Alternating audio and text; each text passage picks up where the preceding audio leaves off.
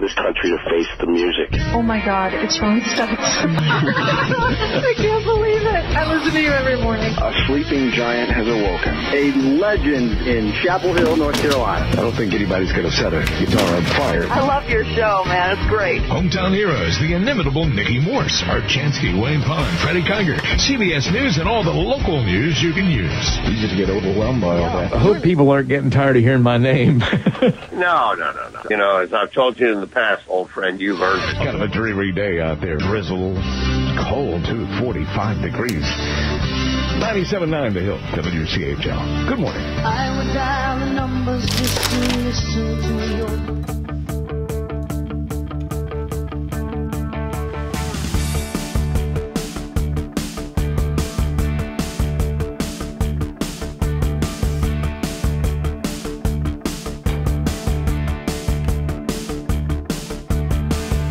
It's amazing how many people there are at 6 o'clock in the morning right here at the radio station. Can you believe it?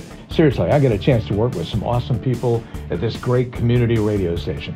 We're all about local, local, local.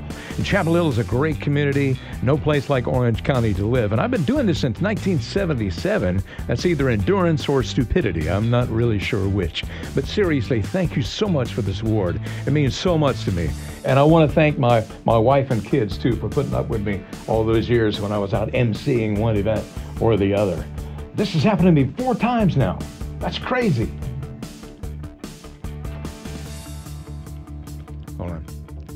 Good morning. It is 607 at 97.9 The Hill, WCHL. I'm Ron Stutts. Now, let's get this party started.